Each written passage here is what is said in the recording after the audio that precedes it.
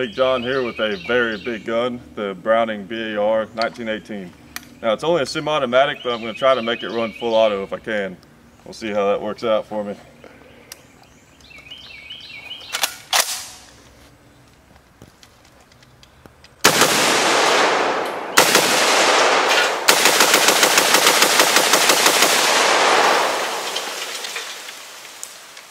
Yeah, it worked out all right. A little trouble with the first, but it wasn't too bad.